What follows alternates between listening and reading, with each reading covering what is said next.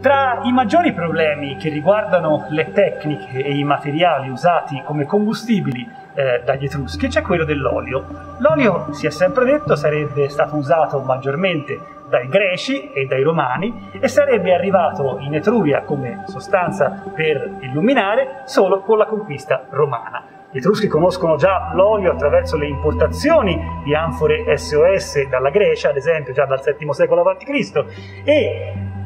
almeno nelle lucerne, tra i più antichi e rarissimi esemplari di lucerne ad olio, abbiamo questi due esemplari che provengono da Campiglia Marittima, dal territorio di Populonia, eh, databili alla fine del V, inizi del IV secolo a.C. Si tratta di lucerne da minatore, che venivano usate all'interno delle miniere, dei luoghi dove le torce lignee producevano troppo fumo e quindi avrebbero intossicato i minatori, e, come dicono le fonti stesse, ad esempio pensiamo a Plinio il Vecchio nella storia naturale, le miniere stesse, le lucerne stesse servivano anche per scandire i turni in assenza della luce naturale e quindi quando finiva l'olio si poteva procedere alla sostituzione della squadra e alla fine del turno.